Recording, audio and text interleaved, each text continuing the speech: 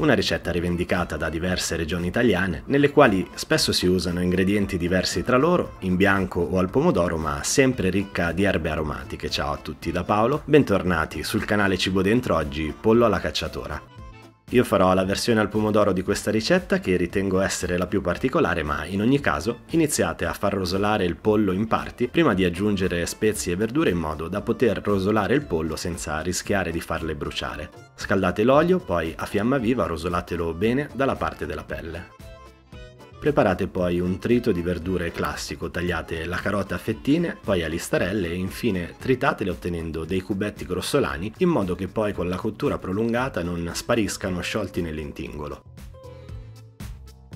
Fate lo stesso con un gambo di sedano, io ho usato il cuore all'interno del gambo, se usate le coste più esterne eliminate i filamenti del sedano con un pelapatate per evitare che si disperdano poi nel sugo, sono un po' fastidiosi altrimenti in bocca. Chiudete poi con la cipolla che chiaramente non può mancare in un trito classico.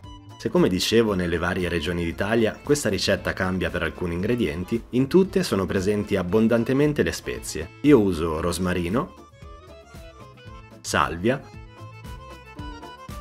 uno o due spicchi d'aglio in camicia,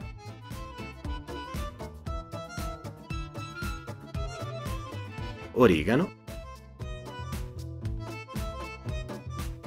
e all'oro. Aggiungete poi il trito di verdure che avete appena preparato e fatelo soffriggere a fiamma viva girando frequentemente in pentola per evitare che attacchi al fondo con il rischio di bruciare. Una volta che le verdure si sono ammorbidite, sempre a fiamma sostenuta, aggiungete un bicchiere di vino rosso e fate evaporare la parte alcolica.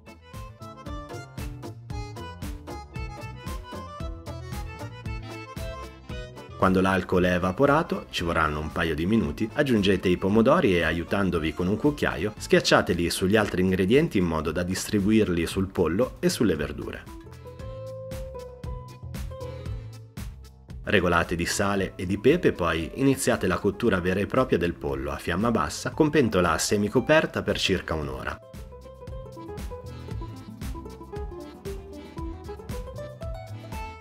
Di tanto in tanto controllate il grado di cottura della carne ma soprattutto spostate il pollo per non farlo attaccare al fondo e copritelo con il sughetto di cottura per mantenerlo umido anche in superficie.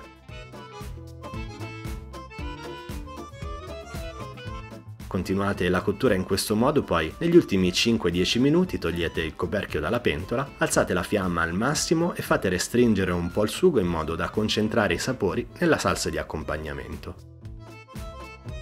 Anche in questa fase girate frequentemente la carne per non farla attaccare al fondo. Lasciate leggermente intiepidire e rapprendere la salsa, poi come tutti i giovedì buon divertimento e buon appetito con questa preparazione a giovedì prossimo, sempre dalle 11 del mattino e sempre qui su Cibo Dentro. Ciao!